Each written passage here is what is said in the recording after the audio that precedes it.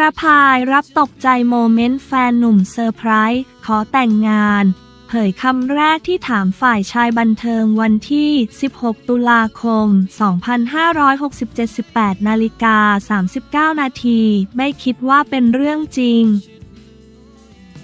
พระพายรามิดา รับตกใจโมเมนต์แฟนหนุ่มเซอร์ไพรส์ขอแต่งงานกลางสนามฟุตบอล เสียดายจะได้แต่งตัวดีกว่านี้ วันที่ 16 ตุลาคม 2567 ที่อาคาร 7 ช่อง 7 HD นางเอกหน้าหวาน พระพายรมิดาธีรพัฒน์จากละคร ภูเขาเงาพยักเปิดใจโมเมนต์ที่แฟนหนุ่มหนุนเช่นชนก ชิดชอบ ลูกชาย อดีตนักการเมืองดังเนวิน ชิดชอบ ทำเซอร์ไพรส์ขอแต่งงานกลางสนามฟุตบอล ยอมรับตกใจ เพราะไม่มีสัญญาณล่วงหน้ามาก่อน พร้อมเผยคำพูดแรกที่ถามฝ่ายชายหลังถูกขอ โมเมนต์ที่แฟนหนุ่มขอแต่งงาน ตกใจค่ะ เพราะไม่ได้คิดว่าเขาจะมาขอเหมือนกันค่ะ หมายถึงว่าไม่ได้มีการคุยกันล่วงหน้ามาก่อน แล้ววันนั้นเป็นเหตุการณ์ที่เขาบอกเราว่าจะจัดงานคอนเสิร์ตช่วงปีใหม่ตรงนี้ อยากเข้าไปดูสถานที่ และลองเทสเสียงดู เราก็ไม่ได้เอใจอะไรอยู่แล้ว ไม่ได้คิดว่าจะมีการขอกันเกิดขึ้น เพราะว่าเขาก็จัดอย่างนั้นจริง ๆ ทุกปี เราก็เลยเข้าไปที่สนามกันตอนประมาณสี่ทุ่มกว่าๆเขาก็ค่อยๆเทส ไมาอยู่ดีๆ ก็มีเพลงขึ้น จากนั้นก็เป็นภาพตามที่เห็นเลยค่ะ ไม่มีเซนให้จับผิดได้เลย ไม่มีเซนเลยค่ะ แปลกมาก เพราะปกติเราจะจับได้ตลอด แต่รอบนี้ไม่ได้เลยยอมรับว่าเนียนมากจริง ๆ อีกอย่าง ถ้าเรารู้ก่อนก็คงแต่งตัวดีกว่านี้ ยิ้ม วันนั้นไม่ได้แต่งตัวอะไรเลยไปแบบไม่ได้สระผมรองเท้าแตะกางเกงยีนหัวมันมากเลยค่ะ วันนั้นก็เลยลงรูปแบบเล็กๆไง ยิ้ม แต่ก็ดีนะคะ ชอบ เพราะมันดูธรรมชาติดีวินาทีนั้น ตื่นเต้นจนหูดับเลยไหม ตอนแรกคิดว่าตัวเองจะร้องไห้แต่ของจริง ก็ไม่ได้ร้องนะคะ ออกแนวเขินมากกว่าแล้ว เหมือนกับว่า เพิ่งจะมารู้ตัวว่ามันเกิดขึ้นจริงตอนวันรุ่งขึ้น คือเหมือนเรายังไม่คิดว่ามันเป็นเรื่องจริง แล้วก็ไม่คิดว่ามันจะเร็วขนาดนี้ ส่วนตัวยังรู้สึกว่าตัวเองยังเด็กอยู่ รวมถึงไม่ได้เตรียมตัวเตรียมใจมาสำหรับเรื่องนี้ เพราะมันก็เป็นเรื่องใหญ่อยู่นะคะคำถามแรกเลยที่ถามเขาหลังจากที่เขาขอคือ บอกพ่อแม่หนูหรือยัง เขาก็บอกว่าไปแอบคุยมาแล้ว คือเราก็เป็นห่วงความรู้สึกของพ่อแม่เราเนอะ ว่าอยู่ดีๆ มาขอได้ปรึกษาผู้ใหญ่หรือเปล่าอะไรอย่างเนี้ย คุณพ่อคุณแม่ก็เก็บความลับเก่งเหมือนกันค่ะ คนแซวว่าแฟนเราเล่นใหญ่มากเหมือนกัน ปิดสนามฟุตบอลและจุดพลุด้วย จริงๆ ต้องพูดก่อนว่า สนามบอลบอลวันนั้น มันไม่มีแมชแข่งอยู่แล้ว คือมันปิดอยู่แล้วอีกอย่างเขาขอแบบอบอุ่น มีแต่คนที่รู้จักกันภายในแล้ว ก็มีน้องหมาวิ่งออกมา แต่แอบมีเล่นใหญ่นิดนึงตรงที่จุดพลุเท่านั้นเอง นอกนั้นก็เป็นปกติอยู่แล้ว ในสนามบอลเงียบๆไม่ได้มีใครเลย จริงๆ ตัวเราเอง พร้อมอยู่แล้วไหมกับเรื่องแต่งงาน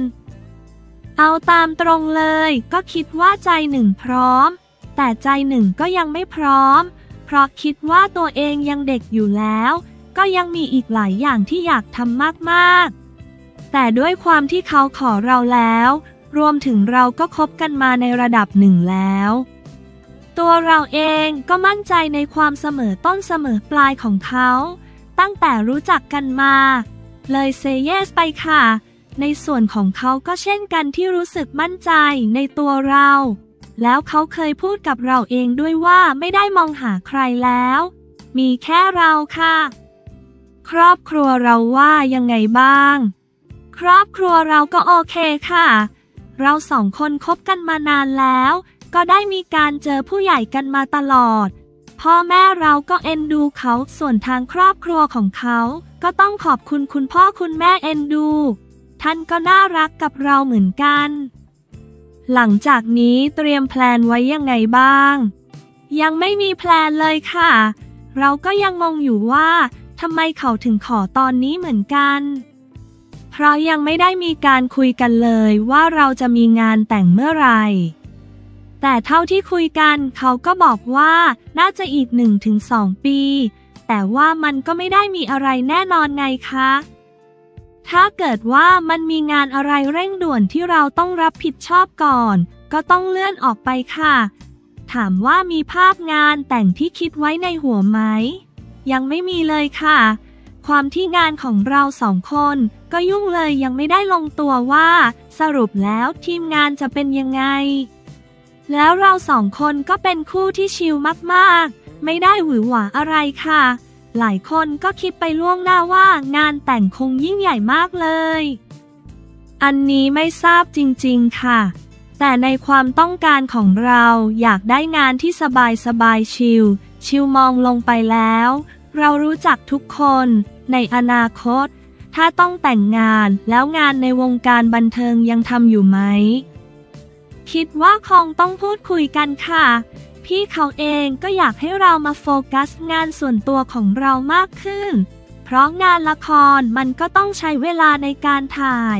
แล้วมันก็มีอะไรหลาย ๆ อย่างที่เขาอาจจะยังไม่ค่อยอยากให้เราไปท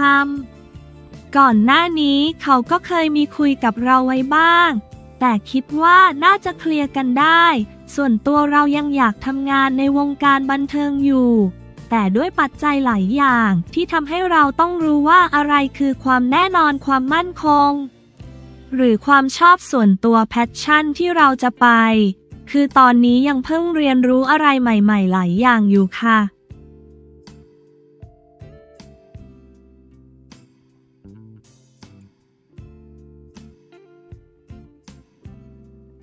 จุรินยันมติปชป ไม่รับผลการศึกษาของกมทนิรโทษ เหตุมีคดีม0.112 รวมด้วยการเมืองวันที่ 16 ตุลาคม 2567 10นาฬิกา 16 นาที จุรินยันมติปชป ไม่รับผลการศึกษาของกมทนิรโทษกรรม เหตุมีคดีม0.112 รวมอยู่ด้วย อาจถูกนำไปเป็นสารตั้งต้นนิรโทษกรรม ในอนาคตที่รัฐบาลไตร่ตรองให้ดี อาจได้ไม่คุ้มเสีย เมื่อวันที่ 16 ตุลาคม 2567 ที่รัฐสภานายจุรินลักษณะวิสิทธิ์สสบัญชีรายชื่อพักประชาธิปัตย์กล่าวว่า ที่ประชุมสสพักประชาธิปัตย์เมื่อวันที่ 15 ตุลาคม มีมติไม่เห็นชอบทั้งผลการศึกษาของคณะกรรมาการ กมท วิสามันศึกษา แนวทางการออกพรบนิรโทษกรรม และไม่เห็นชอบให้ส่งรัฐบาลรับไปพิจารณาว่า มีเหตุผลสำคัญสองข้อคือ กมท มีข้อเสนอให้นิรโทษกรรม การกระทำความผิดตามมาตรา 112 รวมอยู่ด้วย ไม่ว่าจะนิรโทษแบบมีเงื่อนไข หรือไม่มีเงื่อนไขก็ตาม และเพื่อป้องกันการนำผลการศึกษาของกมท ไปเป็นสารตั้งต้นนิรโทษความผิดตามมาตรา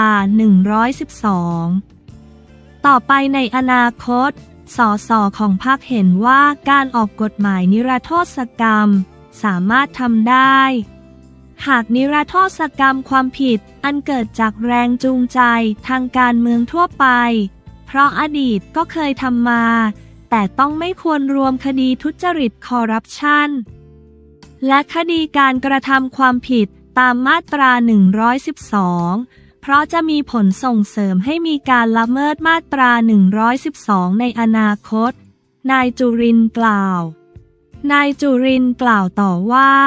อีกทั้งการนิรโทษการกระทำความผิดตามมาตรา 112 อาจเข้าข่ายละเมิดรัฐธรรมนูญมาตรา 6 ที่ระบุชัดเจนว่าองค์พระมหากษัตริย์ทรงดำรงอยู่ในฐานะอันเป็นที่เคารพสักการะ ผู้ใดจะละเมิดมิได้ ผู้ใดจะกล่าวหาหรือฟ้องร้องพระมหากษัตริย์ในทางใด ๆมิได้ เพื่อคุ้มครองพระประมุขเชกเช่น อารยประเทศทั่วไป และเป็นหลักการสำคัญในระบอบประชาธิปไตย อันมีพระมหากษัตริย์ทรงเป็นประมุข การออกพรบนิรโทษกรรม การกระทำความผิดตามมาตรา 112 จึงเป็นเรื่องต้องพึงระวังเป็นอย่างยิ่ง อยากให้รัฐบาลได้ไตร่ตรองให้ดีว่า ยังควรเร่งนำเรื่องนี้ เข้าสู่การพิจารณาของสภาในวันที่ 17 ตุลาคม หรือไม่จำเป็นแค่ไหน และได้คุ้มเสียหรือไม่ นายจุรินกล่าว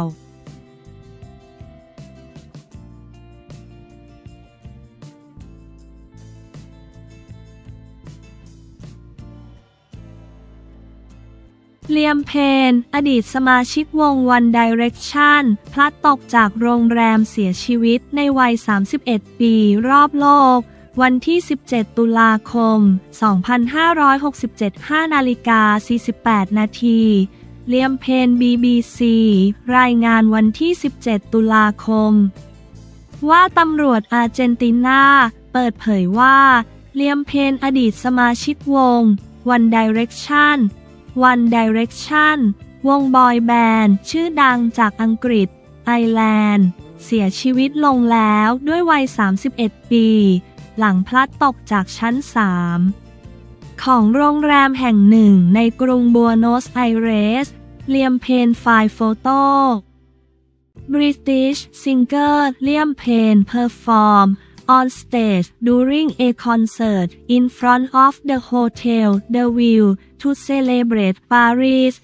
as host for the 2024 Summer Olympic Game Paris France September 15 2017รอยเตอร์ชาลส์เพลชาลไฟล์โฟโต้ข้อความบางส่วนของแถลงการระบุว่า เจ้าหน้าที่นำกำลังไปยังโรงแรมดังกล่าว หลังได้รับแจ้งเหตุฉุกเฉินว่า มีชายคนหนึ่งที่แสดงอาการก้าวร้าว อาจอยู่ภายใต้ฤทธิ์ของยาและแอลกอฮอล์เมื่อไปถึงก็ได้ยินเสียงดังบริเวณลานด้านในของโรงแรม และต่อมาพบชายคนหนึ่งที่ กระโดดลงมาจากระเบียงห้องพัก มีรายงานด้วยว่า เมื่อต้นเดือนที่ผ่านมานักร้องหนุ่มเดินทางมายังอาร์เจนตินาเพื่อชมคอนเสิร์ตของไนอ้อลโฮราน อดีตเพื่อนร่วมวง One Direction Police Officer Stand Watch Outside the Hotel William Payne Former One Direction member was found dead in Buenos Aires Argentina October 16 2024 Reuters Agustin Marcarian ทั้งนี้เส้นทางการเป็นศิลปินของเลียม เริ่มต้นขึ้นในปี 2551 หลังเข้าร่วมการออดิชั่นในรายการประกวดร้องเพลง The X Factor The X Factor ของสถานีโทรทัศน์ ITV ของอังกฤษ แต่ ไซมอนโคเวลหนึ่งในกรรมการตัดสินบอกให้เลียม กลับมาอีกในสองปีข้างหน้าในปี 2553 เลียมกลับมา และทำผลงานได้ดีจนคณะกรรมการประทับใจจึงได้เข้าร่วมค่ายฝึกพิเศษกับศิลปินเดี่ยวอีก 4 คนได้แก่ไนออลฮอแรนแฮร์รี่สไตล์ลูอิสทอมลินสัน เซนมาลิก และ One Direction ก็ถือกำเนิดขึ้นเลียมเพนไฟล์โฟโต้เลียมเพนเพอร์ฟอร์ม during the 2017 Jingle Ball at Madison Square Garden in New York U.S. December 8 2017 Reuters Lucas Jackson File Photo One Direction ถือเป็นหนึ่งในวงดนตรีที่ประสบความสำเร็จอย่างมาก มีอัลบั้มอันดับหนึ่งของอังกฤษ 4 อัลบั้ม และซิงเกิลอันดับหนึ่งอีก 4 เพลงรวมถึงติดอันดับชาร์ตทั่วโลก ทั้งยังมียอดจำหน่ายกว่า 70 ล้านแผ่น และขายบัตรคอนเสิร์ตหมดเกลี้ยงในการแสดงทั่วโลก ก่อนประกาศพักวงในปี 2558 ในปี 2560 ซิงเกิลเดี่ยวเปิดตัวของเลียมในชื่อ Strip That Down ขึ้นถึงอันดับ 3 บน Official UK ชาร์ตและผลงานร่วมกับริต้าโอราในเพลง For You Soundtrack จากภาพยนตร์เรื่อง 50 Shades Freed ก็ติด 10 อันดับแรกของชาร์ตเพลงเช่นกัน ขณะที่ชีวิตส่วนตัวนั้น เลียมแต่งงานกับเชอริลโคนักร้องสาวจากวง Girl Aloud Girl Aloud ในปี 2559 ปี ต่อมาทั้งคู่มีลูกชายด้วยกันหนึ่งคน และเลิกรากันในปี 2561 ไฟล์โฟโต้ Member of British Irish Boy Band One Direction L.R. Zayn Malik Niall Horan Harry Styles Louis Tomlinson and Liam Payne arrive for the premiere of Men in Black 3